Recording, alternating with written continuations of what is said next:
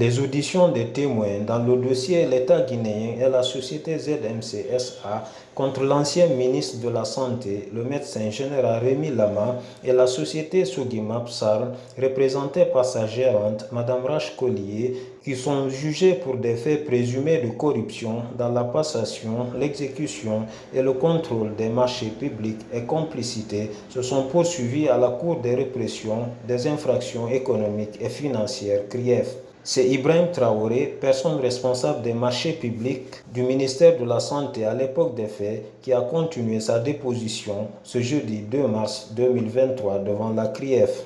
Vous avez votre réponse et la Cour apprécie Merci beaucoup. Merci. Donc j'en déduis qu'il n'y a pas eu d'attribution définitive. Et vous, vous pensez qu'il y a eu attribution définitive? Il y a eu attribution provisoire. Ça, c'est son pas définitive. Définitive. Il n'y a pas eu d'attribution Qui nous ont donné acte dans le primitif qu'il n'y a pas eu d'attribution définitive par rapport à la passation des marchés de, qui a abouti au contrat Face à cet aveu, Maître Amadou Babin Kamara, avocat de l'État dans cette affaire, entend faire les diligences nécessaires pour que ce témoin soit cité à comparaître comme prévenu. M. Traoré avait adressé un courrier à l'ARMP pour dire que la procédure de passation de marché public de la société Sogimap est irrégulière. Et aujourd'hui, dans la salle, il s'est évertué à ne pas reconnaître cela, ce qui est vraiment inquiétant, ahurissant. Et donc, euh, nous pouvons tirer comme leçon que le témoin n'est pas en train de dire la vérité.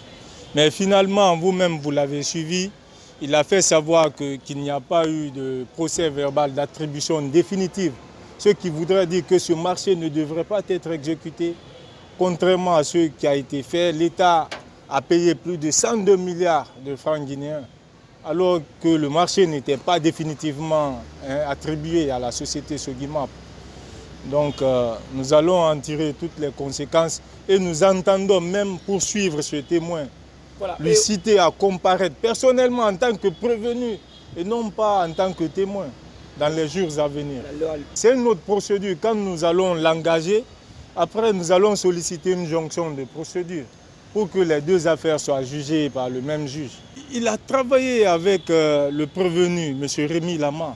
Ils ont travaillé ensemble, il a dit c'est son patron. Donc, en voulant défendre M. Rémi Lama, il se défend lui-même. C'est ça, parce que lui-même, il est impliqué dans la passation de ce marché public frauduleux. De son côté, Maître Moussa Diallo, avocat de la défense, regrette la lenteur dans cette affaire et dit observer le passage du témoin devant la cour. Nous avions juste été dans le souhait que les choses aillent beaucoup plus rapidement que ça, parce que vous n'êtes pas sans savoir que depuis juillet, je crois, cette procédure traîne ici. Euh, et on a espéré qu'avec euh, les témoins qui ne sont tout de même pas les prévenus, les choses auraient été beaucoup plus rapidement que cela. Donc pour l'instant, euh, nous observons avec euh, intérêt et attention euh, la déposition de M. Traoré qui, il faut le rappeler encore une fois, est un témoin. Finalement, la cause a été renvoyée au 9 mars pour la suite des auditions des témoins.